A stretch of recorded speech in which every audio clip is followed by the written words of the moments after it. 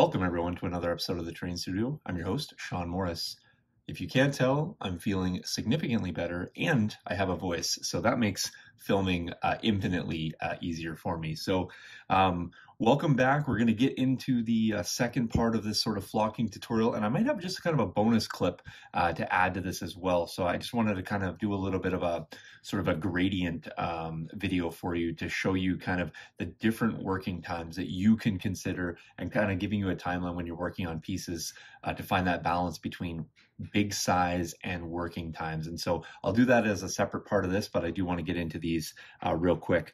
Uh, so just to recap, if you didn't watch part one, we had the no prep surface, uh, we had the painted surface here, so two coats of paint, uh, one brown, one green, just to kind of give you some uh, senses of what uh, what base color might work better for you. Uh, then we had the um, application of the uh, technical paints from uh, from GW.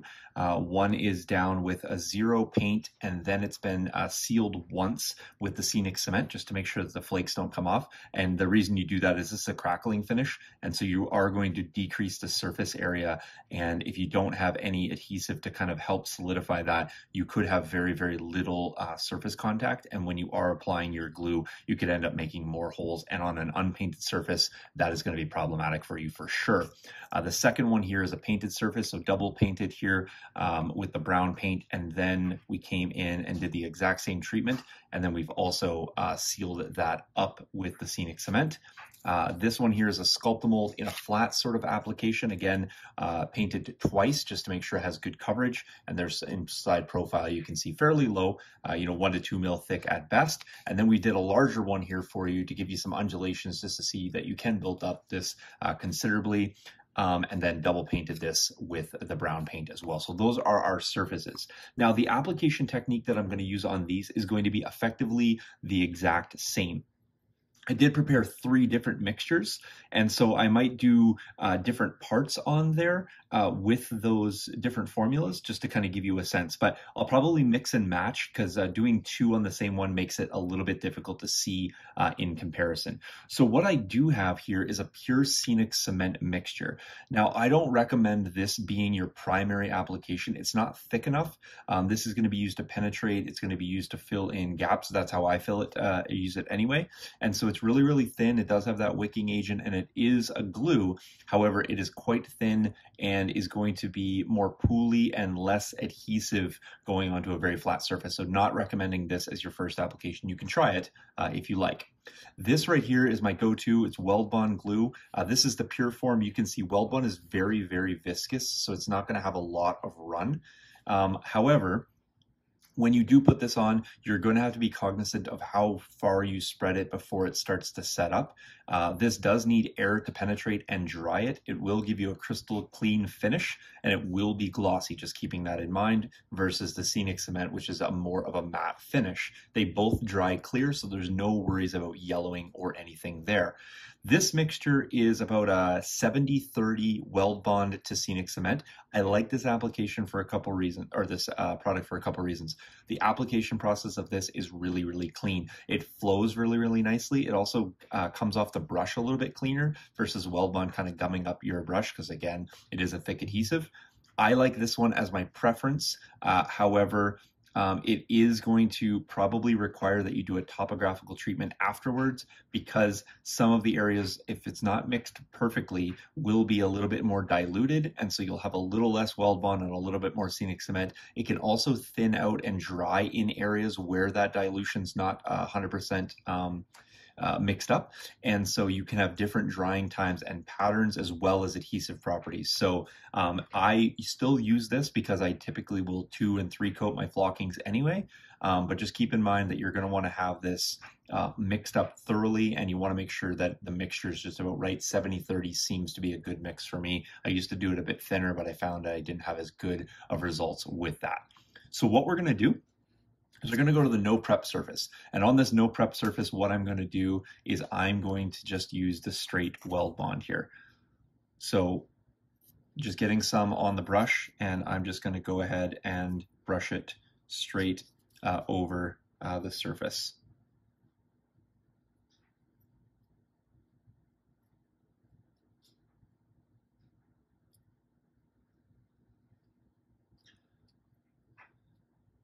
There we go. Going to brush that on. We're going to leave that a minute or so, and then we're going to come back and apply the flocking.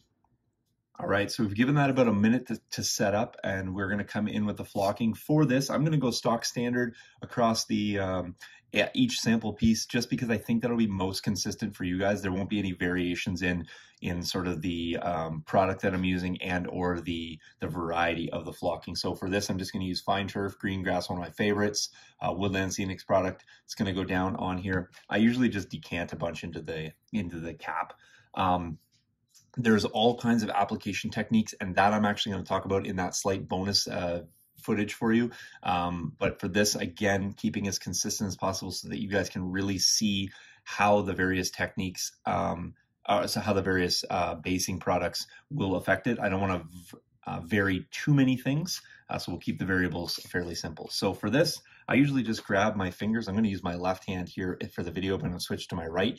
And so I just usually grab a little bit, and I like to do a bit of a pinch technique as I go over the top. So here I go.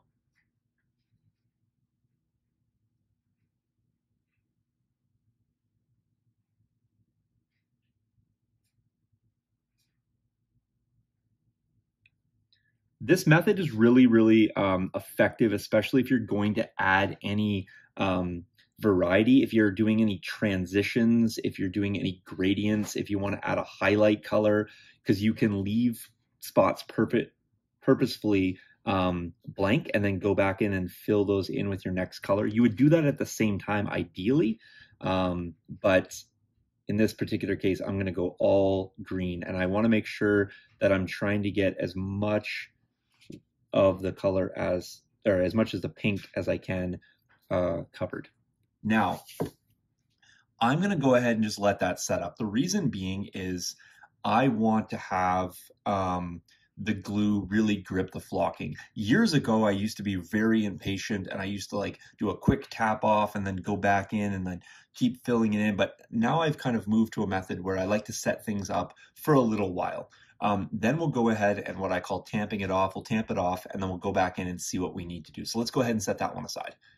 Let's grab another one while we're here and, and just excuse the mess that'll that'll remain there for a second. What we're going to do on this next one is I'm going to do um, one application of the straight weld bond, and then I'll do one application of the mixture just to get a little bit of a, a of a difference there for you. So again, coming in with this, we'll do um, We'll do straight weld bond on brown this time because we've already done one with green.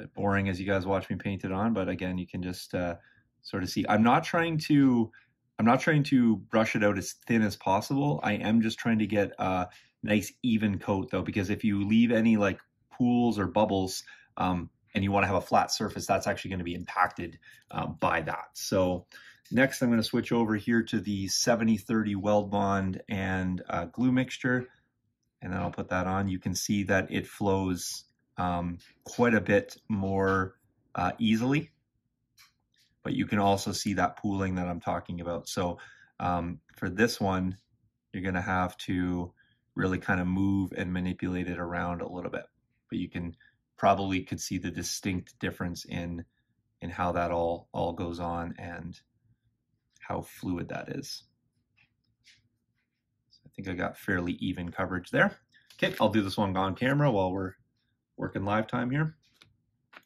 Go ahead and just set that down and I'll do the sprinkle technique over the top.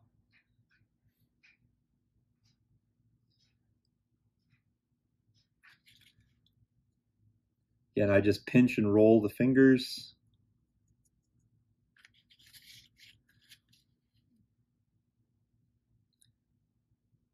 And this is fine flocking. So this is really going to be about as fine as you can get. Um, and you're still going to see that it's going to be difficult for it to get adequate coverage on the first go around just because the material itself will start to block and prevent other material from um, touching the surface. Now, what I'm going to do here is I'm going to show you another thing that you can do if you're worried about that. So I'm going to take um, just this as a, as a stamp And what I'm going to do is I'm just going to lightly press one time that down just to give it a lip, little bit more of a flat finish. And if I grab that other piece that I did, you're going to see this is a bit more flat than this, but both are at this point identical in terms of application. And we'll see when we come back when they dry, is that actually the case? Does both techniques do the same get the same result? Do both um, mixtures formulations of adhesive get the same result? So I'm going to set these ones aside. We're going to come back and we're going to do the other ones, and then we're going to set them all aside. Come back. We're going to talk about where our results are, and then how to go about either achieving different results, fixing any errors, or are we happy with what we have? Stay tuned. All right, guys. So we're back with the next clip and ready to do the next two pieces. Um, one of the things that I always uh, come across uh, in tutorials is my fear that I am not telling you as much information as I possibly can and or showing you as much. So um, in between uh, clips here, what I decided that I was going to do is on these next two pieces, we're going to use the same sort of adhesive material, but I am going to kind of show you a few different flockings because I want to show you two different techniques. If we're going to make it comprehensive, let's do it. So what I have for you here is one of my absolute favorite uh, blends. It's the blended turf and it's the earth blend. I use this actually quite a bit with my greens, with my browns, with yellows, or in dry and arid places where I'm not even going to put anything else. I really just like this mix. It's got a little bit of red as well as yellow into it, and then of course some earthy brown tones. And I'll show you kind of where I use this and how I uh, like to use this in my application. So I might even tie this into one of the greens just to kind of show you. And then the other one that I have here ignore this. It's not actually going to be soft like snow, uh, but it's going to be uh, not a Woodland Scenics product at all. This is one of the the bulk buys uh, from Scenic Express, and I'm not sure the exact tone, but it's it's kind of a lighter brown tone, and I think it will complement uh, with this brown quite nicely. And then we're going to show you how we can tie it into this uh, this green uh, earth blend here as well. So what we're going to do is we have the two applications. One's got the painted surface as well as the um, the cracked or the technical paste by um, GW. And then this one here is just the straight uh, GW paste. Now this one is applied over paint. Uh, that's why the paint's there to show you. And then this one is just a straight pink. So what we're going to do here is I'm actually going to use uh, my my blend, my 70-30 blend uh, on this one. And I'm just going to come in and I'm going to just hit sort of a portion of this, not not all of it. Uh, we're going to leave we're going to leave this one section um, open and we're going to leave that open so that we can kind of show you later how to do a back blend and kind of create a little bit of a gradient. So we're going to do that on there. And then on this other one, what we'll do is we'll swap over to um, We'll swap over to the straight woodland scenics. And one of the things I wanted to tell you as well, the straight scenic cement, which we have here, um, what you can do is if you want, when you're uh, applying, and on this one, here's what we're gonna do. We're gonna do this one as just a full blend. What I sometimes will do is just dip my brush in the scenic cement, and then that gives my brush a little bit of uh, extra liquid so that when I'm trying to um, take off the woodland scenics uh, or sorry, the woodland seeds, the weld bond, it just comes off the brush a little bit cleaner. It's still quite viscous. It's still going to have that that thickness that is the weld bond, but it's going to uh, flow off the brush a little bit easier. And I'm just using sort of a, a dipping a dipping technique to do that. So it will add a little bit of um, liquefied uh, adhesive to the weld bond, so we'll thin it out a little bit, but you can um, you can do that quite sparingly. So you don't have to do it after every single dip. But so there we have it. This one versus this one. So this is uh, obviously thicker and and you can see it's just really filled in all the crackle and then here's that 70-30 mix so that one's obviously penetrating quite a bit more as it does have the wicking agent uh, in it so let's go ahead and set these aside I'll flock these right on camera so what I'm going to do for this one is let's go with um, a bit more of this brown on this one. So my hand will be kind of in the way, but, and I'll do a little, um, I'll do some patching on this one. So I'm going to do mostly the brown, but I will come in with this and we'll create a little bit of a, little bit of a gradient. So we'll mix, we'll mix the two together.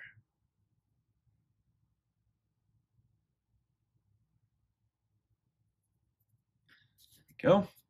And I will not uh, tamp this one down at all. I'm going to leave it.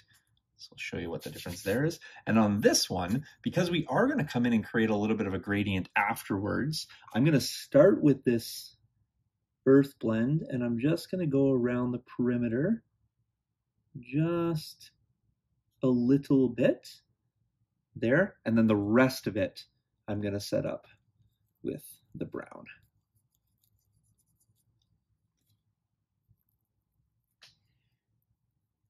I'm trying to sprinkle this high enough that you guys don't see my hand in the camera.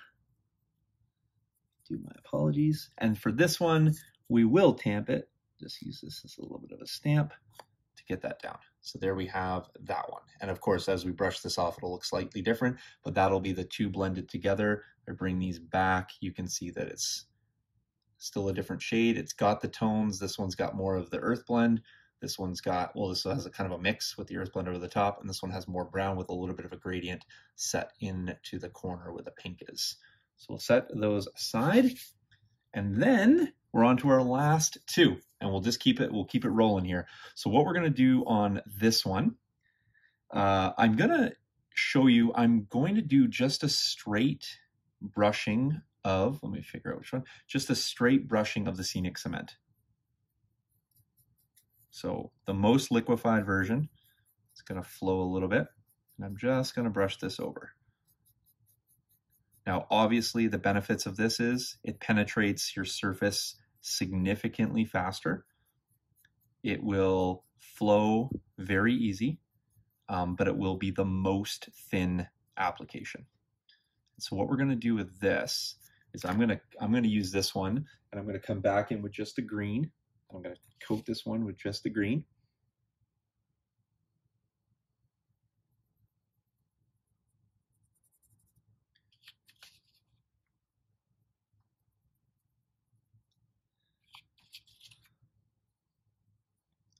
And because this one is just the um, just the scenic cement, I am going to give this one a stamp um, because I do want to have I do want to have that liquid absorbed into the surface as best I can. So there, there's that one. And we're going to do a sun kiss look on this one afterwards, and I'll show you how to do that as well.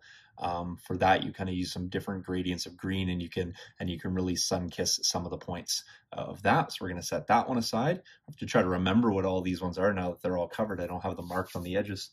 Um, I also want to talk about this. So this obviously now has three blends all mixed together. And so a lot of people would think like, hey, you know what, I should probably chuck that out. Um, if I mix this all together, just and flatten it out, um, that's not a terrible ground mix for some future project or some future uh, basing, etc., that you might want to do. So you don't have to discard all your sort of um, excess material.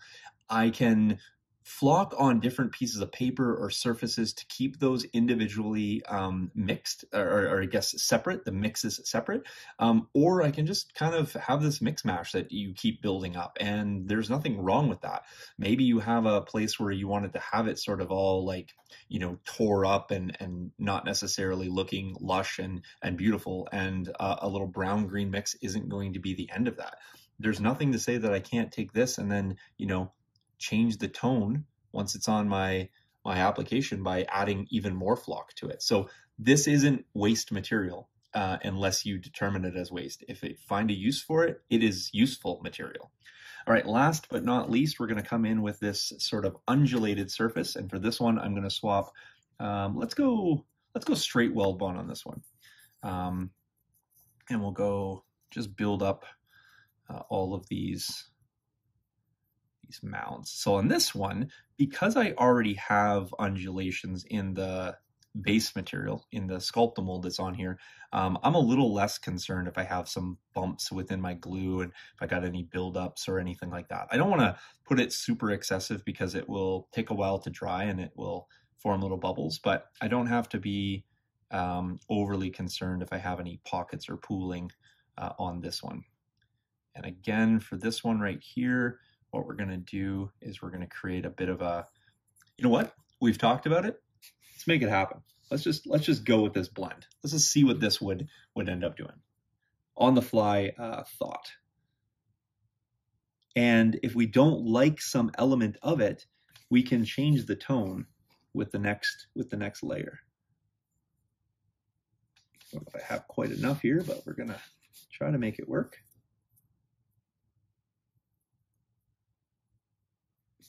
And obviously with this one, I can't do a, a tapping of uh, a piece of foam to kind of create a stamp.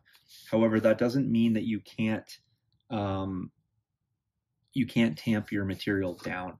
Um, so one of the things you can do um, is if you just lightly tap your finger, just move it over and just lightly tap it down. You don't want to press at all, but you can give it a nice little, nice little tap. You know what? That blend's not terrible. It's not terrible. So we'll go with that one right there and we'll get that uh, on there. So now a little bit of a waiting game here, folks. We're going to set all of these aside. So let me see the order of operation here. I think this was no prep. This was our 50-50 green brown. Uh, this was our no prep uh, technical. This was our technical with brown uh, undercoat. Uh, this is our Sculptamold painted and just straight green. And I forget all of the what we use for all of them. I'll obviously just go back and reference my own video. And then here we are for, and it's not so much what you use for adhesive, because I'll tell you right now, all of them will work. Um, this is our Sculptamold uh, straight weld bond. The, the whole point of the flocking per, uh, portion of this is to find out what technique is going to work best. And if you run into any issues or need to go back or you want to change a, uh, you know, a portion of your flocking and or add to it, what's the best method after you get the base layer down to do that? Because the next step in, in terms of adding additional flockings, fixing and or thickening is really the important part. It's more the technical process. Certainly the base work and the prep work that you've done to get to this point is really important the technique and how to put the flock on is very easy. You guys saw it. It's it's if you can pinch your fingers together, you got it. Um, but then how to change it after the base layer is where it gets a little bit more technical. Do I need to? What is it that I need to do? What is the proper application? What is the proper adhesive? And what is the proper technique to make sure that I don't mess up all of the great work that I've already done to this point. And of course, we'll talk about all that in the next segment. Stay tuned. All right, guys, welcome back. We've let each of these pieces now dry uh, three to four hours, uh, and we're going to do the reveal. And uh, we're going to be, um, you know, looking really for the type of coverage, the consistency, and how much exposed ground that we have. Now, exposed ground doesn't mean that you have a bad result if you were going for that look. If you're going for a really thick uniform look, then we're going to show you how to repair or patch that or give it a second layer. Uh, if you wanted kind of more of a feathered look based on the fact that you wanted to expose whatever ground cover you used, um, that's a perfectly fine result as well. Or we may want to create some sort of transitions or gradients. And then finally, we may want to have some uh, sort of variation within uh, the, the flocking that we've used. So let's go ahead, and have a look at some of the results. Uh, so let's go to the very first one. Uh, this is going to be our uh, completely no prep surface.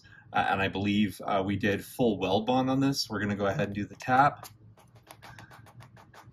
You can see here, and then there's your result. So now from a side profile, it's probably going to look quite fine. But as you tilt it, tilt it towards the light, you can start to see that we have the pink shining through. Now, this is going to be on there quite nicely. I'm just going to give it a good flick. It's going to be on there fairly uh, nicely. It's not going to rub off. If I really start to rub at it, I probably can start removing it because it's only a single layer. Um, it's not terrible, um, but certainly a covering of paint would have done this uh, a much better uh, sort of result. So that's where we're at, and I'm going to show you what we can do to that. Even if you didn't prep your surface, there's ways to save this to give it a little bit of a thicker patch. Now we're going to have a look at the second one. This is going to be, uh, again, this is going to have one side weld bond. I think we did weld side uh, weld bond on brown, and then the 70-30 mix of scenic cement and weld bond I'm going to go ahead and get this uh, a really aggressive tap here. Again, painted surfaces on both sides. So if I tilt this towards the light, you're going to see, yes, we still have some of the painted surface shining through. And in fact, that's going to be visible on both sides. But what you are going to see is that you will have a distinct lighter color or more ground showing through on the brown than you will on the green. So green here, brown there. This is a much better um, result if you put those in side-by-side comparison, you can see the distinct difference. These were effectively covered in the same way, same method, but you can see how much that brown and green paint really gives you to adding bulk or depth to your look. We'll move over next to the brown. This one here, I believe we did the gradient on. We were looking to set the gradient in. So obviously we're gonna have no coloration uh, or no coverage here. We had that slight gradient built in with the earth blend and then the brown here. Brown on the brown paste or technical paint um, is looking pretty good. You can still see some ground cover come through, but because we picked something that was complementary to the ground cover, it's really not going to show up. So that one is not a bad result at all. Um, next up, we did the earth with the brown mix. Remember, we put the brown down first and then did a top coating of the earth.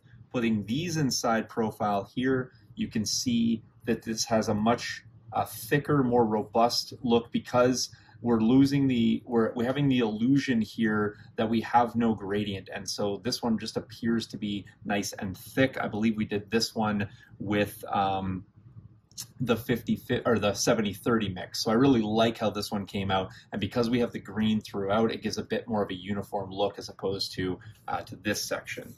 Next up we have the Sculptamold green.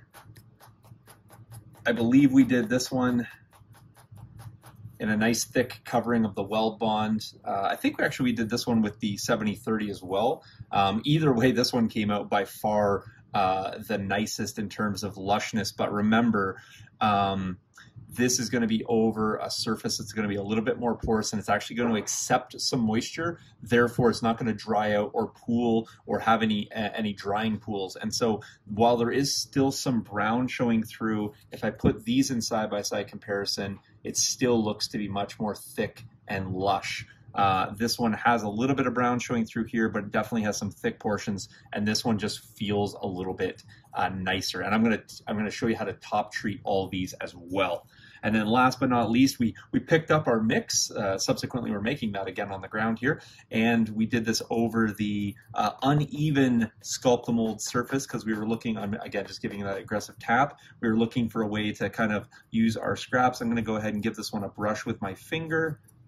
And there you go. This one looks really, really nice. Not only a cool color, but I do really like how that gave those mounds and those sort of rolling rolling hills. Remember, you can scale this up or down. This might be to scale. Uh, it might be rolling hills if you're doing a really microscopic scale, or maybe it's just a small bump uh, if you're doing some sort of larger scale, you know, 28 mil or above. Um, but certainly this came out super nice and it's got a nice coating. And because we used the complementary colors to the brown undercoat, you really can't tell where there's any thin or or or thickening of this. It just really looks nice and uniform and it has a great variety uh, in there. So really happy with how that came out as well.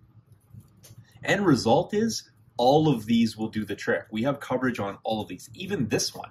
You know, I'm just gonna more aggressively brush that for you so you guys can basically hear that. It's not really gonna come off. A little bit will shed. I'll do the same thing here. I'm gonna aggressively brush all of these just to show you that even that first layer, and remember, and you will have some shedding always, I can seal that in so I don't need to shed it down that much. Uh, but the top treatment that I'm going to show you is going to really lock that all in. So we got really nice uh, coverages there. So now what I'm going to do is I'm going to go off camera and I'm going to just come back and we're going to just re-prep these surfaces. I'm going to show you how I can go ahead and start building these out or locking these things in or adding a little variety. So I'll do a sort of a variation within the next stages just to show you all those different things. But the bottom line is, folks, you can see that you're going to get, as the more work you did, we went from a no prep surface to the max prep surface here Um, and the long and the more time you spend on that application, the better the result's going to be. Whether it's going to be a nice green shade there versus this, like you can see, have a look at the difference. This is a little bit of Sculptamold and paint. This is a no prep. It's identical in application, and just look at the difference that you get in terms of your finish. Um, likewise with this brown, you know, we have this brown and then the other brown. While they're similar in application, you can see that there's a slight difference in how that came out just by adding a little bit more uh, depth and variety to the flocking.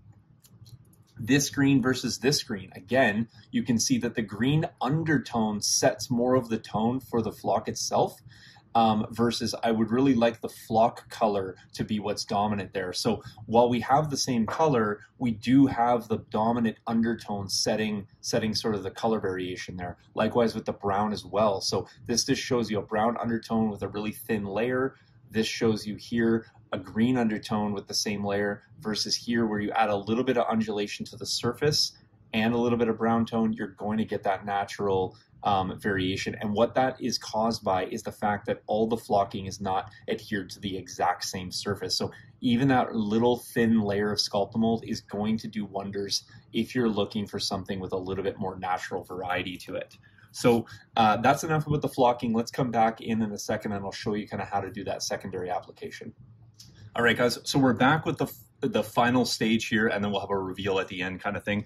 Um, but, but what we'll do is I'm going to go in and kind of show you the the various sort of secondary layers that you can do uh, given the results that you got on your first application. So if I had something like this right here, and you know what, this can result from, from a couple things. One, it can result that I didn't have very good uh, coverage on my first layer. It also could result where I had really great coverage on the you know the other sections and then this might have been the tail end or this might have been the first glue that I put down and I let it dry too long. So this one here, in my opinion, just really needs to be recoated. It, it's, uh, it's so thin that even a secondary layer of sealant is not going to be enough to add um, the bulk that I need in here. So what I'm going to do is I'm going to dip my brush in the scenic cement just to get a little bit more liquefied. I'm not going to go to the 70-30 mix on this one just because I'm going to show you the difference of going back to the straight weld bond. Uh, so what I'm going to do is I'm going to come in and I'm going to start um, basically painting over uh, this this first flocking. Now, what's going to happen here is I'm really going to be saturating um, the the layer, and I'm going to be putting some more bulk uh, into it. And this might move around a bit of the the flocking that's already down, um, which is fine because in this particular application, it wasn't that great. I didn't have good coverage. Um, whoops, got a little bit too much on my finger there. So I didn't have good coverage. So what I really need to do is I almost need to go back and be like, you know what, I'm going to start as if I don't have any flocking at all. And I'm going to come in and bulk out uh, this layer.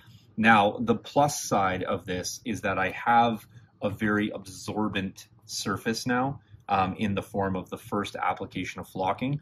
And so that's actually going to help me uh, make this patch repair. Now, this technique I would not use how I just did it unless I was going in to like basically resurface an entire area. I'm not going to try to come in and do that as a spot treatment. This is not where you're going to want to use straight weld bond. Um, what I am going to do is I'm just going to come here and I'm going to re uh, recoat that surface. Remember, this is a no prep surface, and so we're going straight over pink foam um, initially, and now we're going back over with a secondary coat of of the flocking because we want to make sure. I'm going to give this one a press. We want to make sure that we get better coverage on this in this second go around. All right, we'll set that aside. We'll come back in a few hours and check that one. Next up, um, this is going to be the the painted version uh, with again the uh, the flocking applied a little bit better because we had the undertone. But what I'm going to do is I'm going to show you the difference between coming in with this straight weld bond and doing a, a spot treat. So what I'm going to do is I'm going to just treat a patch on this. Okay, so I'm just going to come in and this is straight weld bond again, and I'm going to patch treat this, and I'm purposely going to um, just keep this this isolated uh, to, a, to a patch so it's clear. I am going to feather the edges just so you guys can see I'm not cheating. I'm going to feather the edges so it's not going to, in theory, have a big buildup around the edge. I'm just going to feather that right to the edge there. So I am going to feather that out, and I'm just going to do that. So I went across the brown and the green here. I'm going to come back in with my secondary layer of flocking. I'm to just treat, well, obviously it's only to adhere to the, to the spot treat area anyway. I'm to cheat a little bit. I'm to spread it over the whole thing so that you guys can't see just where the treated area is. Tamp that. I'm to set that one aside. Now, this one that had uh, good coverage uh, on the Sculptamold, good surface uh, good surface adhesion. I like this. But what I want to do is I maybe want to come in and add a little variety. I want to make a, a, little bit of variation in this. This would be where I would switch over to either my watered down weld bond um, or I would switch to um, the straight scenic cement. So what I'm going to do on this one is I'm going to go to the watered down weld bond and I'm going to do another application. And so I'm going to brush this, brush this over. So I'm kind of getting a nice saturation effect. So this is going to be very similar to the no treat surface application, but I'm going to be using the watered version. So it's going to, it's going to spread a little bit nicer. I'm just, I'm dipping back and forth here. If you guys, this is straight scenic cement here, just dipping into the, to the, uh, to the diluted 70-30 one. Just, I just want to have as much uh, moisture on the brush as possible. Okay, so then I'm going to put that down. Now, what you're going to notice is right here, this will happen. The more saturation you have, you can see it's actually going to start taking up some of your flocking if it's oversaturated. Um, so the reason that you want to be careful with putting the glue down onto a surface like uh, oversaturating is because you'll you'll actually break the adhesion that you already had. And this and this was well dry so it wasn't like this was uh, still wet or anything like that. So you want to be careful you're not moving around too too much of what you had however let's go in and do a little bit of um, a spot treat on this so what i'm going to do i'm going to come in now i'm to come in with a little variety here i'm to come in and hit this with a little bit of the earth tone I'm to set an undertone there. I'm going to come in with a little bit of the straight, straight green.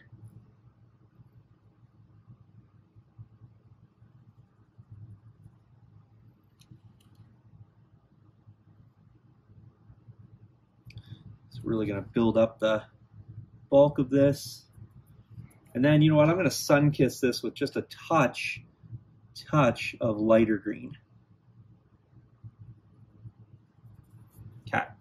I'm actually going to just go ahead and tamp that off just so that I can make sure I have all the undertone surfaces dry. Okay, there we go. And I'm going to go ahead and set that one aside.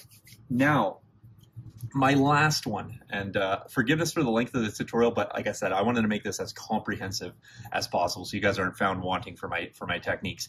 This one I like. I like every part of this. I want to sun kiss this just a little bit just to hit some of these high points, but I love every part of this. But what I want to do for this one is I want to lock in what I already have. So I'm going to take some, oh, I see that I have a pipette that's not the best here. Let me see if I can, there we go. Uh, so what I want to do is I want to just come in and I just want to dribble, just dribble. Hopefully you guys can see that. The scenic cement on there and you'll see that wicking effect. Hopefully that's showing up on camera. I'm being very careful. I'm not trying to drop too much in any one location. In fact, I typically will do this with an airbrush um, there we go. Sorry, my pipette has a little small hole in the cap, so it's going to leak a little bit. Now, let's just say you're doing something and you're like, oh man, I oversaturate that. Grab yourself a Kleenex if you can get to the edge. Watch this like magic. You guys have seen this, right? How absorbent these guys can be. So this is just a great technique if you get ever get too much. And if you can't get to an edge, you can just go ahead and just tap it on the top. That's fine. Same premise applies though if you have an area that's been sealed in and you're adding this much moisture and you're overly brushing it or coming in with a brush, it's going to move your stuff around. So be very, very careful not to do that. Now, as I said, I loved every part of this. So what I'm going to do is I'm going to come in and set a little bit of shadow. and set some shadow into the into the um, the valleys here. A little bit more green, a little bit of valley shadow. Tap that off, and then I'm going to come in. I'm going to sun kiss the top here, a little bit on this ridge, and this ridge, and this ridge, and just sort of feather, feather, feather. I like it, like it, like it. There we go. Just a little blow that off of camera. And there we go. So now I've added in some nice sun-kissed um, little rolling hills here. So we're going to set these all aside. That'll be the end. Um, by the way, that last color that I used, just so you guys know, this is again a Scenic Express. So when I showed you that other one before, the brown, you can get them in the shakers and it's their and their, their brand, or you can buy them in the bags, which is just cheaper, and then you can just de uh, decant them into your own um, into your own shaker. So you know, years ago, I just bought shakers. And when I got smart, I bought bags. So, uh, so what we now have is this one, this one, this one, and this one. And so you can see the hope is that we've got uniform application. I didn't do a great prep job on here, but I'm hoping that I can bring this back up to a better prep job. I did a better prep job here, but I wanted to add a little bit of bulk to that. I did an even better prep job here, but when I was moving it around, I, I oversaturated. So I go back in and I try to use, you know, methods to repair those patches. Here, I really, really loved it. I wanted to lock it in and add a secondary layer, and I'm hoping that top layer gets locked in. So that's the that's the gradient. It doesn't matter where you start, how you did it. Um, there's ways to fix, repair, and or make it look better.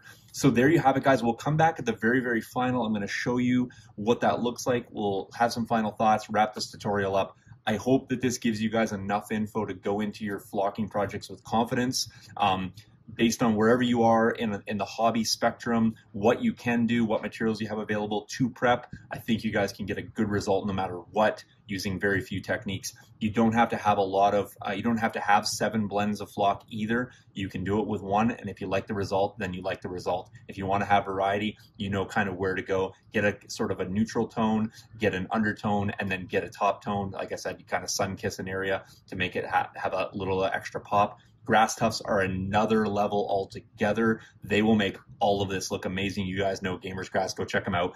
Um, that would be the next evolution and a really another way to add some features. A few rocks, twigs, etc. will really start to make your groundwork pop, and I think you guys will literally like it. So let's come back at the end, we'll look at the final result, and we'll call this one done. Stay tuned. All right, guys, we're back with the final segment of this tutorial. And don't forget, I am going to do that bonus video just talking a little bit about some of the uh, considerations you should make if you're doing some larger scale flocking um, uh, items, tables, etc. Uh, obviously, that will be part of the Hobbit project as well, where we'll be doing some absolutely uh, grand scale uh, flocking jobs. But um, having a look at these, again, I just left them. We're going to come back and have a look. Uh, remember, we did a topographical treatment of, of this one here. Uh, this one we went in and did this, this straight up uh, weld bond over top of the first layer, and you can see there it is, folks. That's the fix. So this is a no prep surface done with two layers of weld bond, and you have an absolute coverage with no visibility of the pink at all. So you guys thought at the beginning of this, this was going to be the absolute worst and terrible one. This tutorial basically wanted to show you that you can do almost nothing, and if you have proper flocking technique, you will be fine. That's on a pink surface. So there you have it. The, the camera does not lie. It is covered. Um, it, it'll, it'll be strong. I can go over and saturate that with the straight up scenic cement as well to get a nice seal if I want. I could do all the sun kissed, uh, you know, options on this, adding tufts, etc. But there you have it. The no prep option will get you the results with a few steps. This was the painted version. Remember what we did here though? We did a spot treatment. And here's what I want to show you folks.